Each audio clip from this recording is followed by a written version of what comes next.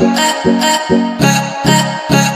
दोस्तों, अगर आप भी चाहते हैं कि भारत एशिया कप जीते तो हमारी इस वीडियो को लाइक ज़रूर खींचेगा दोस्तों, बांग्लादेश और पाकिस्तान के मैच में एक ऐसी लड़की दिखी जिसे देखने के बाद आप भी उसके फ़ैन हो जाएँगे। तो बताएँगे आपको इस पूरे खबर के बारे में, लेकिन उससे पहले आपको क्या लगता है? भारत वर्सेज पाकिस्तान के मुकाबले में कौन शतक मारने वाला है? कॉमेंट में ज़रूर बताइए। दोस्तों, जैसा की आपको पता ही होगा की एशिया में क्रिकेट फेस्टिवल शुरू हो गया है। जी हाँ हम बात कर रहे हैं एशिया कप की, जिसे पाकिस्तान होस्ट कर रहा है। लेकिन ये मैच श्रीलंका और पाकिस्तान में खेले जा रहे हैं। तो वहीं आज का मुकाबला पाकिस्तान के गद्दाफी स्टेडियम में खेला जा रहा है, जिसमें आमने सामने है पाकिस्तान वर्सेस बांग्लादेश। इस मुकाबले में बांग्लादेश की टीम ने टॉस जीतकर पहले बल्लेबाजी का फैसला किया था। लेकिन ये फैसला उन्हीं पर भारी पड़ गया। या यूँ कहे, पाकिस्तान की गेंदबाजी ने कमाल का प्रदर्शन किया, जहाँ बांग्लादेश पचास ओवर भी नहीं खेल पाई थी और पवेलियन लौट गई। तो वहीं पाकिस्तान की तरफ़ से बल्लेबाजी भी काफ़ी खतरनाक थी। और ये देखकर भारतीय टीम को भी संभल जाना चाहिए। क्योंकि अगर भारतीय टीम पाकिस्तान को हल्के में लेने की भूल कर रहे हैं तो ये उनकी सबसे बड़ी भूल भी बन सकती है। क्योंकि आने वाले समय में अभी पाकिस्तान वर्सेज इंडिया का मुकाबला होना बाकी है। तो वहीं दोस्तों, पाकिस्तान की तरफ़ से मोहम्मद रिजवान की शानदार पारी थी, जिसकी बदौलत पाकिस्तान ने ये मुकाबला बिना किसी टेंशन के ही अपने नाम कर लिया। लेकिन दोस्तों, जब मोहम्मद रिजवान बल्लेबाजी कर रहे थे। उस दौरान स्टेडियम की स्क्रीन पर एक ऐसी लड़की दिखी जिसे देखकर एक पल के लिए तो जैसे कैमरामैन भी ये भूल गया कि उसे क्रिकेट पर फोकस करना है। वो क्रिकेट को कवर करने के लिए आया है, न कि लड़की को।